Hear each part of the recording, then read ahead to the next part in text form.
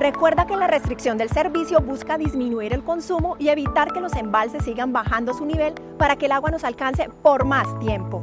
Por eso, el día de tu turno de racionamiento, solicítale a la administración de tu edificio o conjunto el cierre del tanque de reserva. Si por algunas razones técnicas no se puede hacer, puedes cerrar el registro de mano o llave de ingreso de agua a tu vivienda o negocio.